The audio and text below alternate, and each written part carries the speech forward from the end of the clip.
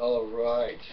We are going to do um, the Hideaway, Freddie King Hideaway. We're going to do it like Eric Clapton on the Blues Breakers album. And we're going to play up in this new Happy Blues place. Instead of doing it down here, or we're going to go up here with our index finger, going to go to the ninth fret. And it's like barring that A bar and the tonic is going to be the third string. That's the E, open, same as the open E string. And we're going to go like this. Start on up here, and I'm going to go. So, up, down, with a hammer, down, and then up,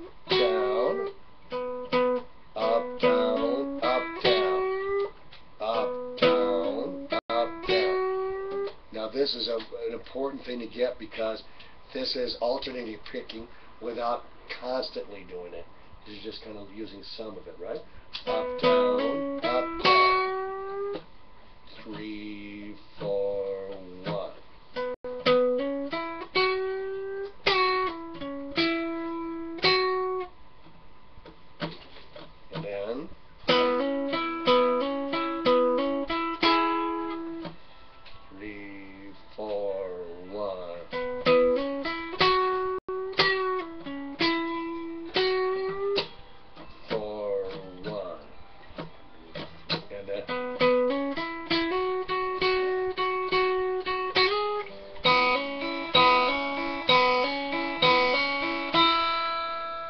and that's going to be bring us back down to being able to use that first blues box